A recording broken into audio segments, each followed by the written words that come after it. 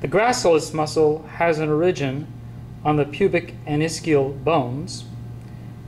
You can see it here, the origin here near the pubic symphysis. And inserts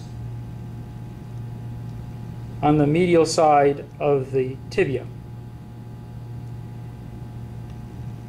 The gracilis adducts the thigh at the hip joint and also flexes the leg at the knee joint.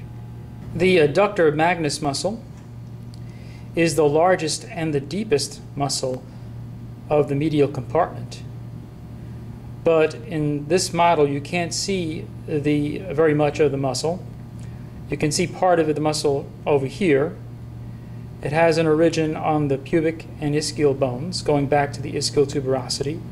So this is part of the adductor magnus this looks like a separate muscle, but it is also part of the adductor magnus. And if we remove the sartorius muscle, you can also see a little bit of the adductor magnus muscle right over here, right underneath the gracilis muscle, which is this muscle right over here.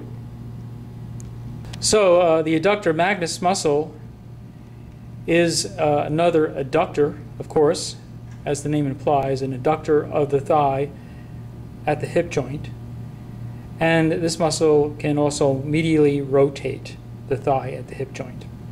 Now we are, are looking at the anterior aspect of the thigh, and right over here are the muscles of the anterior compartment, including the sartorius and the rectus femoris. And we want to look at a couple of muscles that you can see here that are part of the medial compartment. First, we'll look at the pectineus muscle right over here.